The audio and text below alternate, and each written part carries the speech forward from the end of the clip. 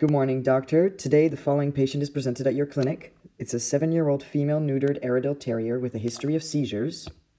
She was investigated by a colleague two days ago for a stiff, stilted hind limb gait on walks and for general lethargy. Radiographs of the spine, pelvis, and proximal hind limbs were unremarkable, and blood sample was taken, but results are not available yet. Last night, three generalized tonic-clonic seizures were seen by the owner, each lasting around 60 seconds, and now this patient is presented to you.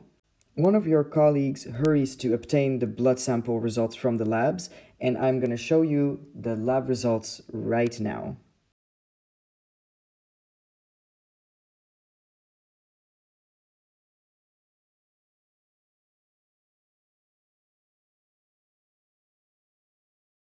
So let's go over today's patient's lab results.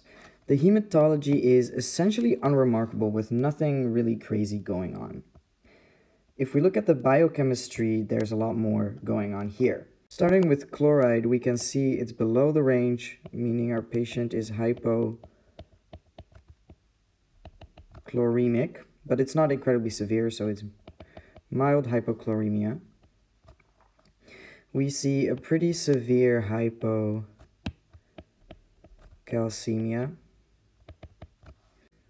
And then we have a mildly raised inorganic phosphate, glucose, ALT, and AST, none of which are really extensive enough to cause clinical signs, and the same is the case for GGT with a very mild increase. The last thing we notice on our patients biochemistry is an increase in creatine kinase. An increase in creatine kinase tends to point to muscle damage, which is completely in line with the fact that our patient has a history of seizures. So this finding of a raised creatine kinase is not weird at all, and it's also not high enough for us to really think this could be the cause of whatever's going on with our patient. It is simply the consequence of the seizures.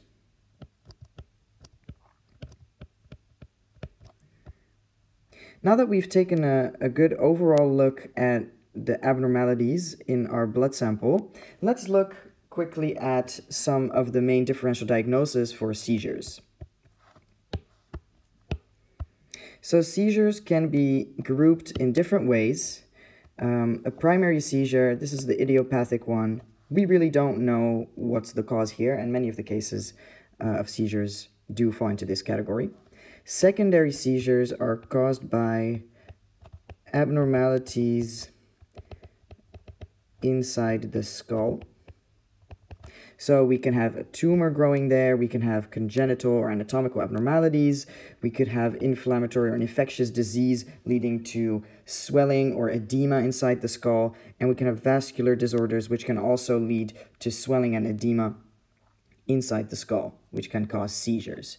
Reactive seizures, on the other hand, are caused by metabolic or toxic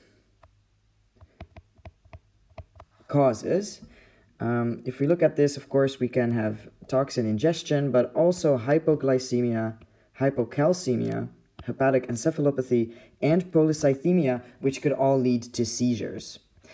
When we look at our blood sample results, we want to pay specific attention to the following measurements in regards to diagnosing whether it might be a reactive seizure, and that's the blood glucose level, particularly if it's low, the calcium level, particularly if it's low, as well as the packed cell volume,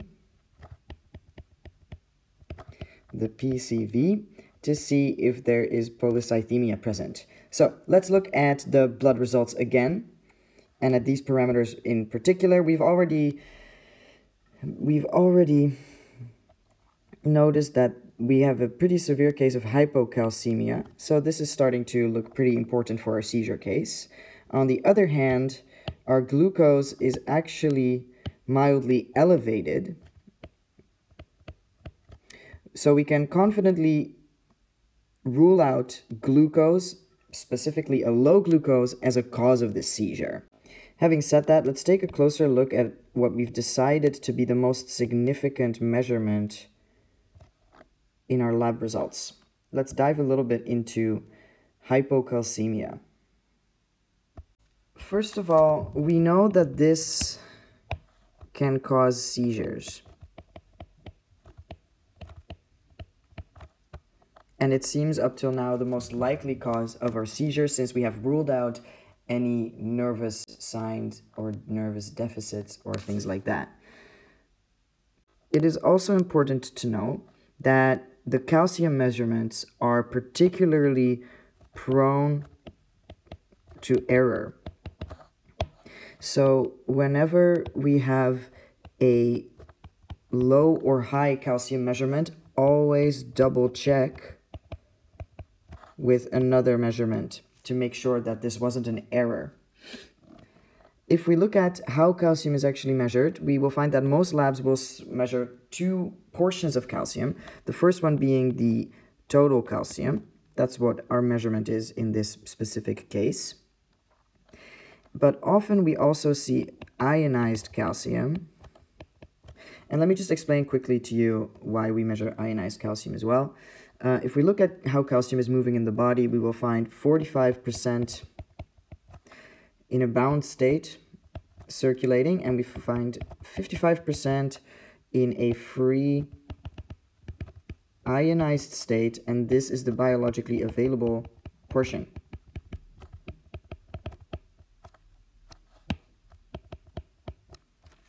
So the total calcium measurement is going to be the two of these summed up, and the ionized calcium measurement should amount to about 55% of the whole.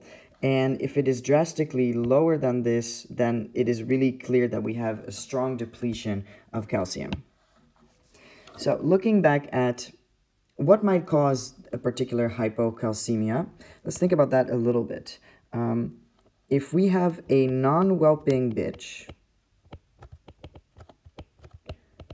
so not in lactation, which might cause hypocalcemia, and there's no suspicion of exposure to ethylene glycol, which also might cause hypoglycemia. Then the most common cause of hypocalcemia is primary hypoparathyroidism. How would we be able to diagnose or rule out primary hypoparathyroidism?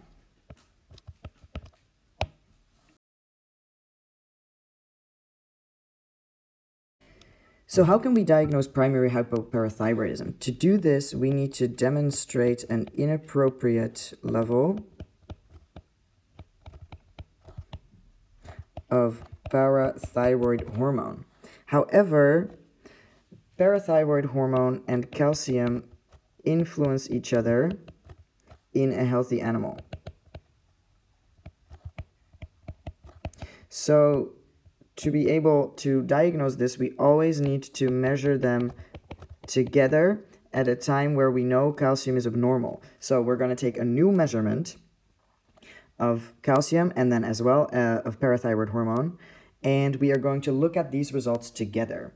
These two substances have the following relationship in the body. On the long axis, we have the calcium concentration, and on the y-axis, we have the PTH concentration. So here we are in the area of hypercalcemia and here we are in the area of hypocalcemia and between them is the normal range. What you will notice is that in the healthy animal, in a state of hypocalcemia, parathyroid hormone will be elevated, while in a state of hypercalcemia, parathyroid hormone will be low. So this is why we need to measure them together. And we have done this in our patient, and our repeat assessment shows that our total calcium was 0.9 millimole per liter, so still drastically low. Our ionized calcium was 0.45 millimole per liter. And we know by now that our PTH should be elevated because we have a clear case of hypocalcemia. However, PTH was below limit of detection. So low that it could not even be measured. So these values together confirm our diagnosis of primary hypoparathyroidism. Did you get that right? Please let me know if you did, and look out for more cases like these to come in the future.